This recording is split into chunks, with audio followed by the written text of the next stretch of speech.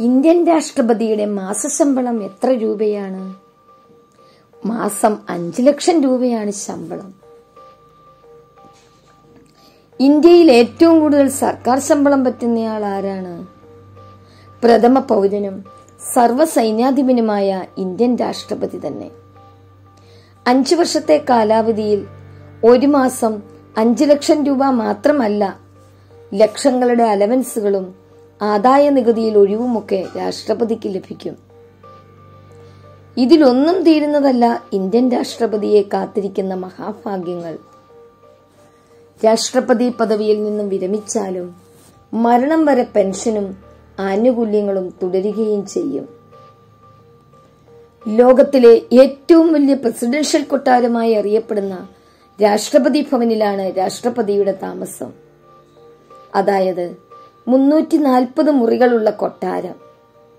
രണ്ടര കിലോമീറ്ററോളം നീളമുള്ള ഇടനാഴിയും വിശാലമായ പൂന്തോട്ടവുമുള്ള സൗധം. ജീവനക്കാരുടെ വേതനം ഭക്ഷണം അതിഥികളുടെ ആതിഥ്യം തുടങ്ങിയ ചെലവുകൾക്കായി കേന്ദ്ര സർക്കാർ പ്രതിവർഷം മുപ്പത് കോടിയിലേറെ രൂപ ചെലവഴിക്കുന്നുണ്ട്. രാഷ്ട്രപതി ഭവന് പുറമെ രാഷ്ട്രപതിക്ക് ഹൈദരാബാദിലെ രാഷ്ട്രപതി നിലയം ഷിംലയിലെ റിട്രീറ്റ് ബിൽഡിംഗ് എന്നീ രണ്ട് അവധിക്കാല വസതികൾ കൂടിയുണ്ട്. ഇന്ത്യൻ പ്രസിഡന്റിന് സർവീസ് കാലത്തും വിരമിച്ച ശേഷവും മരിക്കും വരെ രാജ്യത്ത് നിലവിലുള്ളതിൽ വെച്ച് ഏറ്റവും ഉന്നതമായ ചികിത്സ സൗജന്യമാണ്. പങ്കാളിക്കും ലഭിക്കും ഇതേ പരിഗണന. രാജ്യത്തിനകത്തും പുറത്തും ഏറ്റവും കൂടുതൽ സുരക്ഷ ലഭിക്കുന്നയാളാണ് രാഷ്ട്രപതി. രാഷ്ട്രപതിക്ക് രാജ്യത്തിനുള്ളിലും പുറത്തും യാത്രകൾക്ക് ഔദ്യോഗിക വിമാനമുണ്ട്. എയർഫോഴ്സ് വിമാനത്തിനു പുറമെ അടുത്തിടെ അമേരിക്കയിൽ നിന്നും വാങ്ങിയ മിസൈൽ വേദ ബോയിങ് എഴുന്നൂറ്റി എഴുപത്തിയേഴ് മുന്നൂറ് ഇ ആർ എസ് വിമാനം രാഷ്ട്രപതിക്കുണ്ട്. ശത്രു മിസൈലുകളെ പ്രതിരോധിക്കുന്നതിന് large aircraft infrared counter measures self protection suites എന്നീ സംവിധാനങ്ങളാണ് ഈ എയർഫോഴ്സ് വിമാനത്തിലുള്ളത്. ഹാക്ക് ചെയ്യാനോ ചോർത്താനോ സാധിക്കാത്ത ആശയവിനിമയ സംവിധാനവും ഉണ്ടാകും. ഫാരത് ഇന്ത്യ എന്നതിനൊപ്പം അശോക ചക്രവും വിമാനത്തിൽ പതിച്ചിരിക്കും. ഇന്ധനം പൂർണമായി നിറച്ചാൽ തുടരെ പഴി പതിനേഴ് മണിക്കൂർ പറക്കാനാകും. പ്രത്യേകമായി രൂപകൽപ്പന ചെയ്ത ബ്ലാക്ക് മേഴ്സിഡസ് ബെൻസ് പുൾമാൻ ഗാർഡിലാണ് രാഷ്ട്രപതി യാത്ര ചെയ്യുന്നത്. രാഷ്ട്രപതിയുടെ പേഴ്സണൽ സ്റ്റാഫുകളും രാഷ്ട്രപതി ഭവന്റെ പരിചരണത്തിനായി ഇരുന്നൂറിലധികം ജോലിക്കാരും ഉണ്ടാകും ബാലിസ്റ്റിക് മിസൈൽ ആക്രമണം ഹാൻഡ് ഗൺ ആക്രമണം സൈനിക റൈഫിൾ ആക്രമണം ബോംബ് ഗ്യാസ് ആക്രമണം തുടങ്ങിയവയിൽ നിന്നെല്ലാം രാഷ്ട്രപതിയുടെ മേഴ്സിഡസ് സംരക്ഷണം നൽകുന്നു.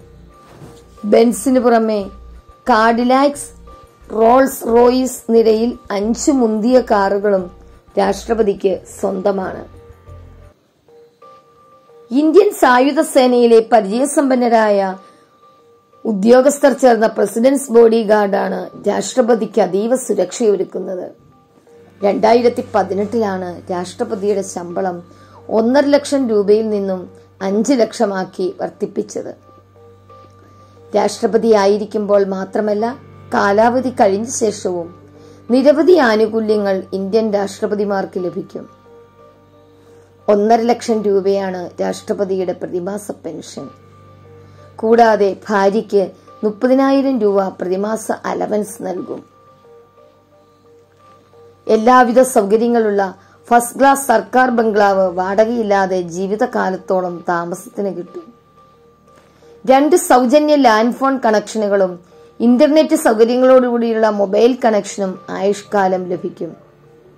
ഇതുകൂടാതെ ഒരു കാറും ഡ്രൈവറും സർക്കാർ ചെലവിൽ അനുവദിക്കും. ഒരു പ്രൈവറ്റ് സെക്രട്ടറി അടക്കം അഞ്ച് പേഴ്സണൽ സ്റ്റാഫ് എക്കാലത്തും കൂടെയുണ്ടാകും. ആജീവനാന്തം ട്രെയിനിലും വിമാനത്തിലും ഒരാൾക്കൊപ്പം യാത്ര ചെയ്യാം. ഇതൊക്കെ കേൾക്കുമ്പോൾ രാഷ്ട്രപതിയാകാൻ ഒരു വ്യക്തിക്ക് എന്തെല്ലാം യോഗ്യതകളാണ് വേണ്ടതെന്ന സംശയം ബാക്കിയുണ്ടാകും.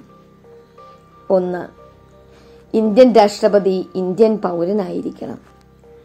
രണ്ട് മുപ്പത്തഞ്ച് വയസ്സ് പൂർത്തിയായിരിക്കണം. മൂന്ന് കേന്ദ്ര സംസ്ഥാന സർക്കാരുകളുടെയോ തദ്ദേശ സ്വയംഭരണ സംവിധാനത്തിന് കീഴിലോ വരുന്ന ഏതെങ്കിലും സ്ഥാനത്ത് നിലവിൽ നിയമിതരായിട്ടുള്ളവർക്ക് രാഷ്ട്രപതി തെരഞ്ഞെടുപ്പിൽ മത്സരിക്കാനാവില്ല. നിയമസഭ പാർലമെന്റ് എന്നിവയിലെ അംഗമായിരിക്കരുത്.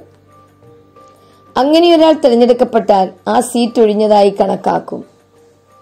ഇത്തരത്തിൽപ്പെടുന്ന ആർക്കും ഇന്ത്യൻ രാഷ്ട്രപതി സ്ഥാനാർത്ഥിയായി നിശ്ചിത അംഗങ്ങളുടെ പിന്തുണയോടെ നാമനിർദ്ദേശ പത്രിക നൽകി മത്സരിക്കാം. പതിനായിരം രൂപയായിരുന്നു ഇന്ത്യൻ രാഷ്ട്രപതിയുടെ ആദ്യ ശമ്പളം.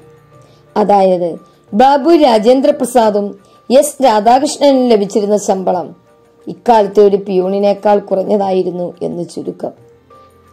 ആയിരത്തി തൊള്ളായിരത്തി തൊണ്ണൂറ്റിയെട്ടിലാണ് മാസശമ്പളം പതിനായിരത്തിൽ നിന്നും അൻപതിനായിരമായി ഉയർത്തിയത്.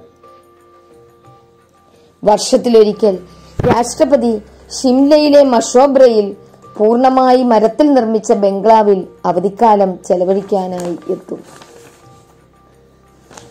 അദ്ദേഹത്തിന്റെ സ്വന്തം ഓഫീസ് സംവിധാനം ഉൾപ്പെടെയാണ് ഇവിടേക്കുള്ള മാറ്റം. ആയിരത്തി എണ്ണൂറ്റി അമ്പതിലാണ് രാഷ്ട്രപതിയുടെ ഇവിടുത്തെ വസതി നിർമ്മിക്കുന്നത്. ഹൈദരാബാദിലെ ബൊലാറാം എന്ന സ്ഥലത്ത് രാഷ്ട്രപതി നിലയമാണ് ദക്ഷിണേന്ത്യയിൽ അവധിക്കായി നീക്കിവച്ചിരിക്കുന്ന സ്ഥലം. സ്വാതന്ത്ര്യ ലബ്ധിക്ക് ശേഷം ഹൈദരാബാദിലെ രാജാവായിരുന്ന നൈസാമിൽ നിന്നാണ് ഈ കെട്ടിടം വാങ്ങിയത്. തൊണ്ണൂറ് ഏക്കർ സ്ഥലത്ത് ആയിരത്തി എണ്ണൂറ്റി അറുപതിലാണ് പതിനൊന്ന് മുറികളുള്ള ഈ കെട്ടിടം നിർമ്മിച്ചത്. Dining hall cinema hall Darbar hall തുടങ്ങിയവ എല്ലാം ഇതിൽ ഉൾപ്പെടുന്നു. രാഷ്ട്രപതിയുടെ യാത്ര രാഷ്ട്രപതി ഉപയോഗിക്കുന്ന വാഹനത്തിന്റെ നമ്പർ മോഡൽ നിർമ്മാണം തുടങ്ങിയ കാര്യങ്ങൾ അതീവ രഹസ്യമായി സൂക്ഷിക്കും. രാഷ്ട്രപതിയുടെ സുരക്ഷയെ പരിഗണിച്ചാണ് ഇത്തരം വിവരങ്ങൾ പുറത്തുവിടാത്തത്. രാഷ്ട്രപതിയുടെ കാറിന് നമ്പർ പ്ലേറ്റ് ഉണ്ടായിരിക്കില്ല. പകരം ദേശീയ ചിഹ്നമായ അശോക സ്തംഭമായിരിക്കും ഉണ്ടായിരിക്കുക. അപ്പോൾ ഉപരാഷ്ട്രപതിയുടെ ശമ്പളം എത്രയെന്ന ചോദ്യം ബാക്കിയുണ്ട്.